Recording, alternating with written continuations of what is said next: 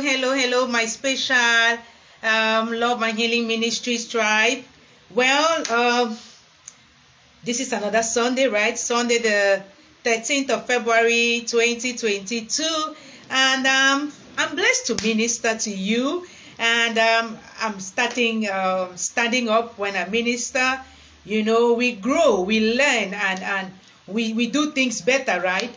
And uh, by grace, I'm going to eventually maybe have some more lights and stuff like that. But what's most important for me is what I say. And so if people can hear what I say, it doesn't matter what they see. It doesn't, I mean, seriously, the testimony is what people hear. And, well, of course, what they see eventually by your actions, your life, and everything like that. So this morning, I want to um, do the last part of this series on the Samaritan woman as placed on my heart. And before that, I'm going to say a word of prayer, right? Uh, Father God, in the mighty name of Jesus, I want to thank you for today. I want to thank you for a new day. I want to thank you for our lives. I want to thank you for my kids, my home, my friends, my families. I want to thank you for everybody who would listen to me or who listens to me. I want to thank you for those who have given their lives to Jesus. I want to thank you for those who are still seeking. I want to thank you for those who are serving, right? Um, I just want to give you all the glory. And I want to beg you today, Papa, that you help us, all your children, to not be ashamed of saying that we believe in you, we have faith in you, to not be ashamed of sharing our testimonies, and to not be ashamed of completely abandoning our past at the cross and going to tell it in the city in the mighty name of Jesus. Amen.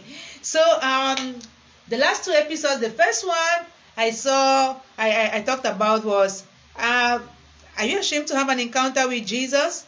Right? The Samaritan woman, um, she was first reluctant at the beginning, right? She was like, How come a Jew? What are you doing with me, a Samaritan woman? Why are you even passing through this village? What do you want for me? I have asked God several times. I've asked my mother, Woman, what do you want for me? I was like, God, now just leave me alone. I'm already doing enough like this. What is it? What do you want for me? But um, Jesus wasn't rude. Jesus wasn't um, arrogant. Jesus wasn't dismissive. Jesus did not just show her past and her face like that and make a mockery of her and just judge her and all of those things. No. So uh, we learned about that, and um, that made this woman to to be comfortable to trust Jesus.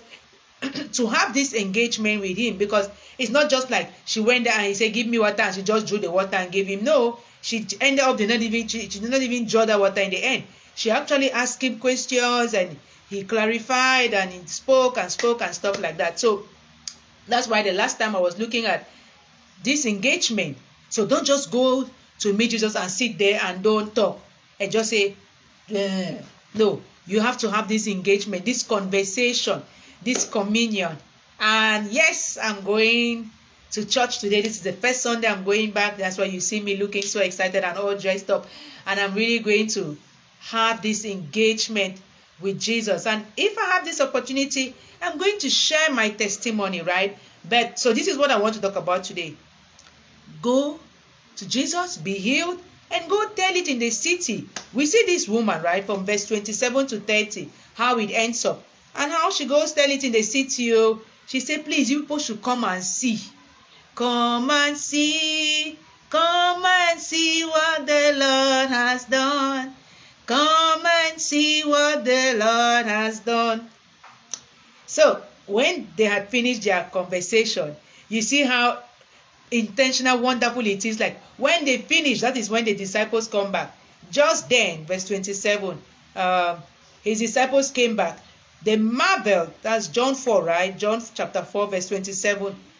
Just then, his disciples came back. They marveled that he was talking with a woman. But no one said, What do you seek? How dare they? or why are you talking with her? Who are they? After all, the disciples are supposed to be learning. So he's teaching them a lesson. You don't start judging people eh that one is a prostitute that's a strip woman that is an adulterer that's a this that's a that. You know the way sometimes you walk into a church or you are passing near a man of god or all of those things and you feel it or even on social media you see how people judge people. You know stuff like that. Sometimes you be like are they christians? Papa god abeg you. So so the woman left her water jar. This is this one caught it just caught my attention. It just blew me. Up it's like she left the thing. She abandoned it. She was like ah after this encounter this engagement i'm not carrying me no water anymore. What? He will give me water living water. What am i doing with this local jar? And then the jar didn't mean nothing to her anymore. And went away into town and said to the people hey come see. This woman who was ashamed who would not even want to interact with people at the well who will be leaving when everybody has already fetched and gone home who was probably living alone in her small corner there uh, with that man who was not even her husband you know how probably in those days and even today when you are living with a man who is not your husband who has not married you who has not gotten married to you who cares about you? Like, ah that one come we stay until we see a ring. So you cannot even go to somewhere and you you you are you are making like that like other people who are kind of married you know and stuff like that. The respect is different. The consideration is different. But no because this woman has had this encounter and engagement with jesus christ himself who can say what to this woman anymore? She's the one telling people things now in the city. So she said come see a man who told me all that i ever did. Ha! Can this be the christ? Because they too they were waiting. In spite of this division between jews and samaritan ah i mean i even read today how peter went to cornelius? I was teaching. Cornelius was a devout gentile. He was not a jew. Peter peter! Who did not even want to think that gentiles could have anything to do with what? He is the one. He got this revelation. The same time cornelius said oh somebody is coming. You are going to somebody. Oh my goodness. Could this be the christ? Uh if it is you will you stay? No they went out of the town and were coming to him amen. Of course all of them and you know how those people used to whoop like that. I want to see with my eyes oh. My eyes have seen my ears have heard my mouth will talk about the goodness of god. My eyes have seen my ears have heard my mouth will talk about the goodness of god. So please people are are are well, we are walking epistles. And we conquer the world more and more by the blood of the lamb and the power of our testimonies. Don't be ashamed to share your testimony. Oh my goodness. I put some verses there right? I mean sing. Ah i will sing unto the lord a joyful song. I will praise his name for the lord is good I don't have me no qualms singing, shouting, blogging, posting, all of that. Because I know where my faith, my hope, my grace, my strength, my everything comes from. So no, I am not. If you don't want to see, don't see. You don't want to read, don't read. You don't want to listen, don't listen. But you cannot tell me to stop.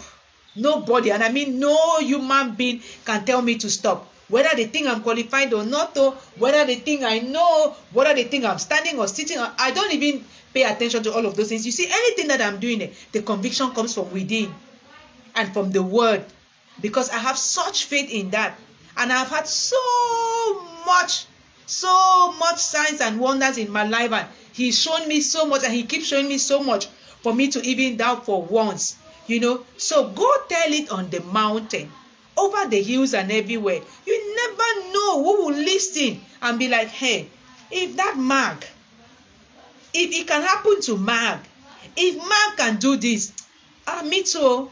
You know, it's not like I'll say, the Bible says, repent, the kingdom of God is at hand. No, that's not my ministry, and I thank God for that. And I wanted to say that, you know, we who have decided, you know, to follow Jesus, we are the light of the world. We are the sun. Nobody lights a lamp to put under the table. What was the point in lighting that lamp? So why would I keep my lamp under the table? No, my light. It has to shine. If you don't want to see it, you are still in the darkness. You are still whatever. Okay, good for you, but I will keep shining. So this is my word today to encourage you. Don't be ashamed. Whatever that past is, you can abandon it there. See, she forgot that jar. It wasn't important anymore. My past, I've written books, everything is there. I've abandoned it. Me, I'm a new creature. You know, whether anybody says that word, um, and every day I seek to renew my mind by the word because as I renew it, my life keeps being transformed. So let it be, let it be, let it go. Open up, you know, come to Him, come to Him. That's that's that's the base of my ministry. Come to me, all you who are weary and labor and are heavy laden, and I will give you rest.